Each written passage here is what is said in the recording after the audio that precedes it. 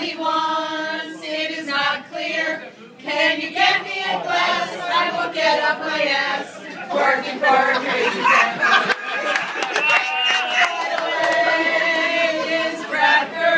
Will be back? No one has heard.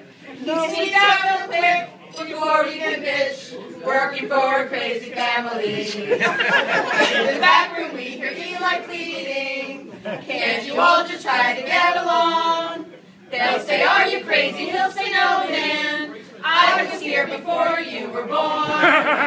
Baby's out, Cheryl's back now.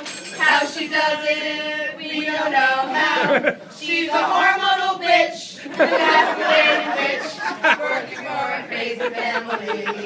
Later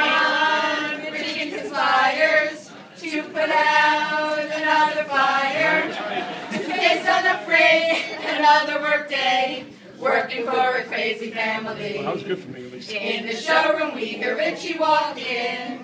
He has Debbie Horton on the line. He'll say, girls, get in here in a hurry. Walmart needs it now, but there's no time. When they yell, ain't it thrilling? As we wait for the killing. We say they're all nuts, maybe it's us, cause we're working for this crazy family. Wow.